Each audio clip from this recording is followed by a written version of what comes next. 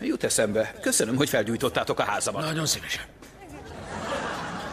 Megvan az eredmény? Meg, itt van. Még nem mertem kinyitni. Ez megváltoztathatja az egész életemet. Jimmy, csak így tudhatod meg. Nagyon sajnálom ezt a dolgot a házaddal, meg minden. Tudom, de most ne ezzel foglalkozzunk, ne húzz tovább az időt.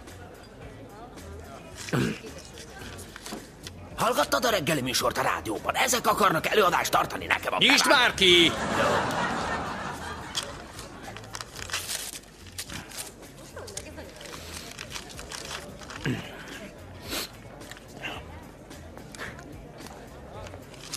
Az enyém. Ó, hé, hoztam egy szivart. És fiú, Olyan nem volt, hogy férfi. Hé, hé, hé, gratulálok, nagyszerű kölyök. neked könnyű, te megszoktad, hogy valakinek szüksége van rá, de én gyűlölök mindenkit. Te vagy a legjobb fej a világon, mégis legtöbbször ingerem van lelőni magam, ha beszélnem kell veled. Sziasztok! Szia. Na, öm, hozzak valamit? Nem, kösz semmi. Jó. Gondoltam, beszélnél vele. Ide hívtad, és akkor mi lett volna, ha kiderül, hogy nem az én fiam? Te vagy az egyetlen, aki nem tudtad, hogy a fiad. Jó. Nos, ez a fia.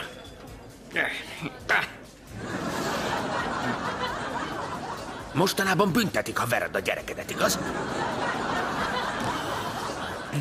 Szia, Michael. Hogy vagy? Elmondtad. Mi?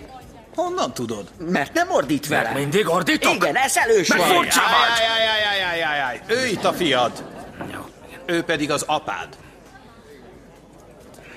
Kezdjük újra. Jó.